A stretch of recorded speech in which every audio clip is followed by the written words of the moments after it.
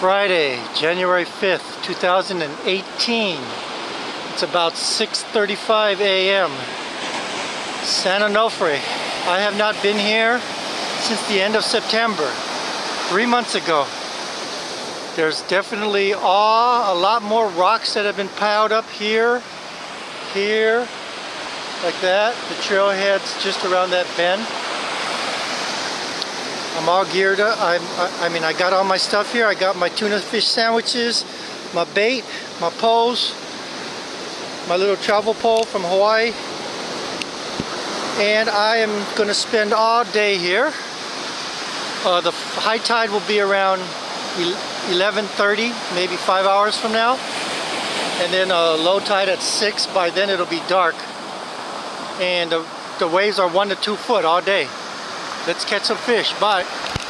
Well, it's definitely rockier over here. On my light pole, I already lost two weights, getting a lot of seaweed. On my big pole, I, I went to the Korean market and I bought some mackerel. And I cut up the mackerel, and on, within one minute of casting, I fought, I had something big. I think it was a bat ray or a big leopard. I fought it for close to 10 minutes I got it pretty close to shore. I never saw it and the line broke.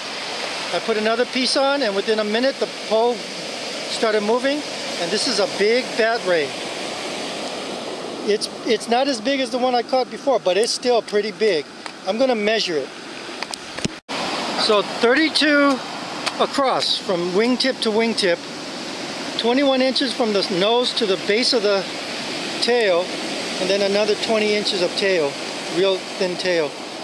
It looks like there's a little stinger and it's bleeding right there. So I definitely don't want to get near that. Now I got to get the hook out and let him go. But, okay, I got the hook out. I'm going to flip him over and let him push him back.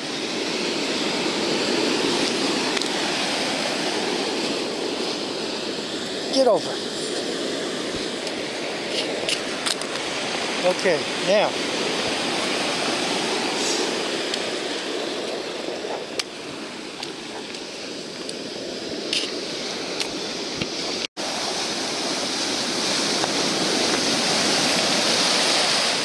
Okay, he's over here. there he goes, bye. Okay, on a piece of shrimp, this is a nice perch, nine and a half inches. Nine and a half inches. That's a big perch for here. This is a nice 29 inch leopard shark on the small pole with shrimp. This is the biggest leopard I ever caught on the small pole. Wow.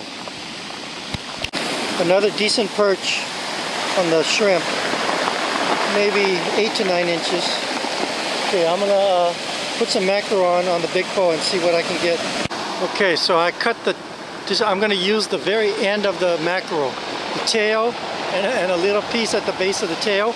I'm going to throw this out, see what hit, if anything bites it. So I haven't had a bite for over two hours now and I moved, I, there's the power plant, I moved south of the trail.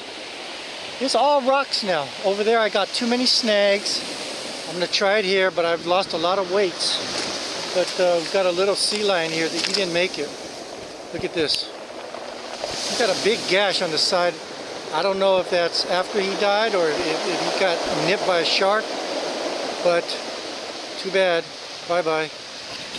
Well, my very first cast, I got a nice 12-inch yellowfin croaker on shrimp. I guess the move paid off. I can't even get my other pole tied. Even tie my hook. Very next cast, 24 inch leopard shark, shrimp. Another decent perch. All the perch today are, are medium or, or, or nice ones, no real small ones. This one's about 8 inches, 9 inches shrimp.